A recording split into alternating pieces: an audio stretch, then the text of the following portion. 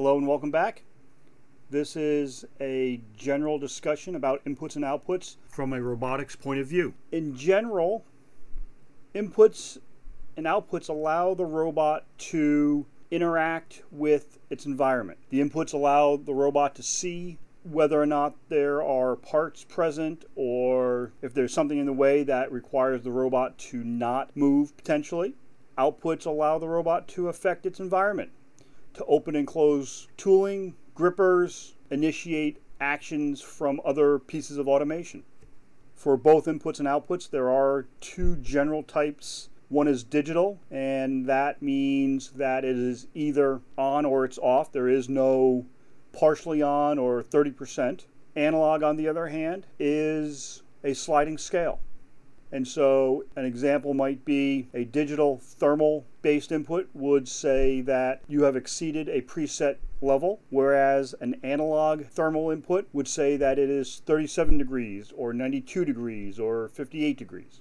Generally speaking, outputs are most of the time digital. There are occasions where it might be analog, and just like with digital inputs and analog inputs, digital outputs are either on or off, whereas analog outputs are 7%, 30%, 5 milliamps, 15 volts, so on and so forth.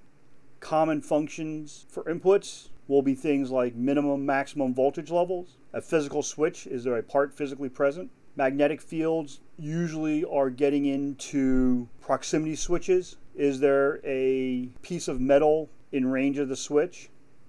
An electromechanical usually refer to things like limit switches, where there's a physical arm that is depressed and it then closes an electric signal. On the output side, an electromechanical device might be a relay. There are different types of input sensors. This is not the class to really get into them, but it's good for you to be aware of some of the types out there and some of the phrases you'll hear. Hall effect refer to sensors that work off a magnetic field. A pressure transducer converts pressure to uh, variable voltage. Strain gauges are looking at electrical change due to deflection. Photoelectric or photo eyes are sensors that look for a break in the beam or the reflection of the beam back to the sensor.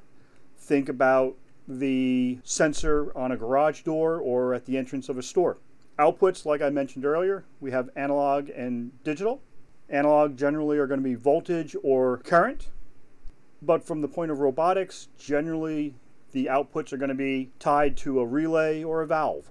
As far as valves for robotics are concerned, they generally have a solenoid, which is a coil and an electromagnet. They may or may not have a spring return. There are different configurations, as you can see on the screen here, and they come in various voltages. You will want to match the voltage of your valves and your solenoids to whatever your robot is configured for. Relay outputs are used when you are switching higher voltages with a lower voltage, or they can just be used to turn on and off voltages where you have higher current draws. The pictures on the left, the upper one is often referred to as an ice cube relay because they're more often than not clear and shaped like an ice cube.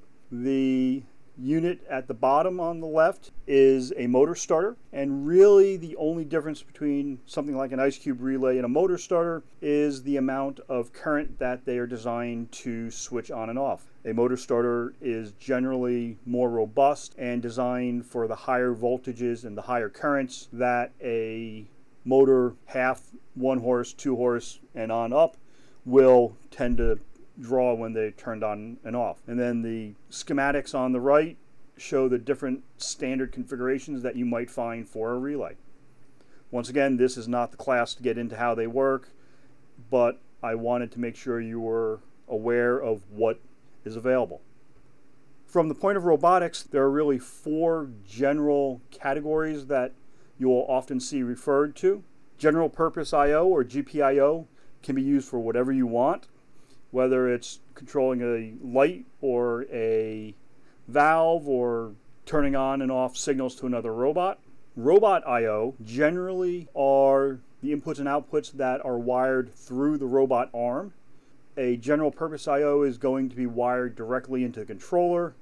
The robot I/O is designed so that you don't have to run wires up the side of the arm and have to worry about them getting caught or bending too much. Uh, the robot I/O is wired inside of the arm, and usually there is a connector near the end effector that will allow you to wire into those inputs and outputs. Safety I/O is exactly what it sounds like. Things like emergency stops, uh, signals from safety devices such as light curtains or area sensors or pressure mats.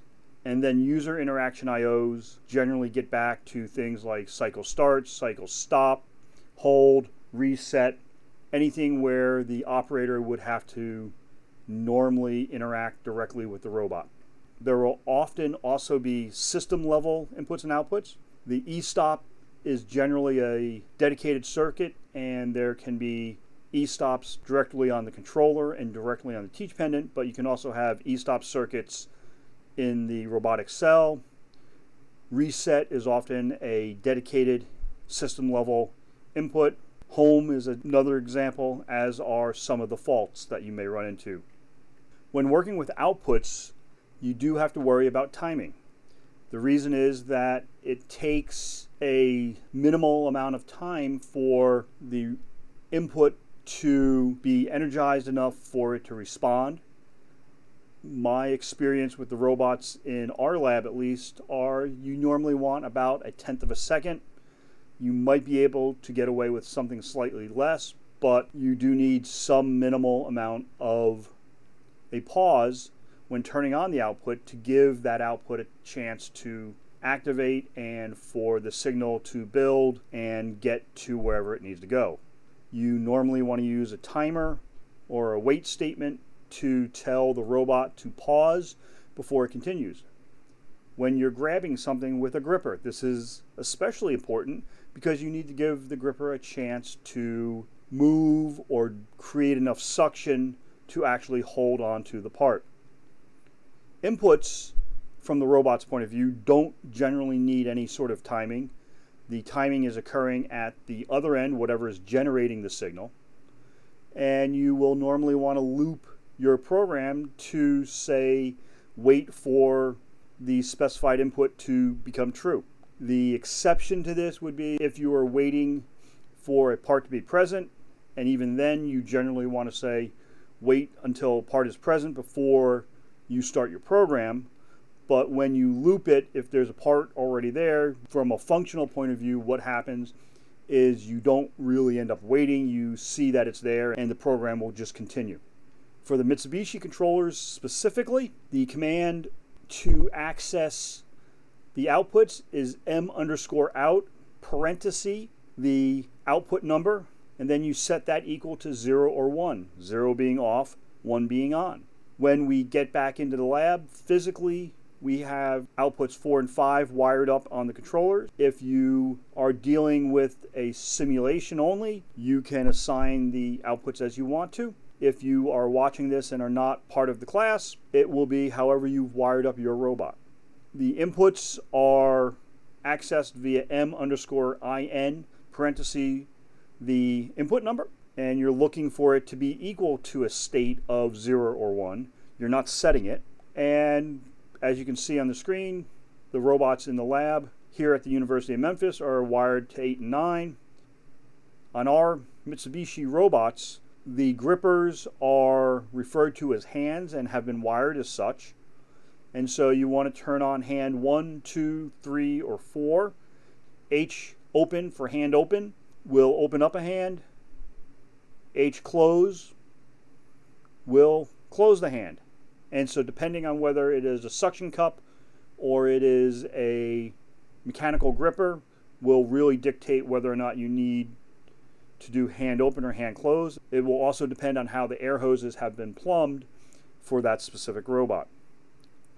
On the teach pendants, you would actually do hand plus 6, 5, 4, or 3 in descending order to get to hands 1, 2, 3, and 4 in ascending order. Yes, I know it's backwards.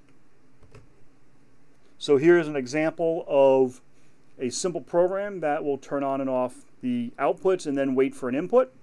And so as you can see, it's moving through two points. It then turns on output 6000, waits for five seconds, then turns off output 6000. Normally you don't want to wait for something as long as five seconds, but this example, it made sense. Maybe it is turning on a sealant applicator or it could be pressing something together and needs to hold it. And so you can delay it for however long you need. If you're just picking something up, it would be hand open, delay, give it half a second or a second generally as a good rule of thumb. And then at line 40, it waits for input 6001 to be true before it begins its cycle over again and jumping to line 50 and going back up to line 10. Hopefully this has made some sense. If you have any questions, feel free to reach out to me. That's all for now. Thanks.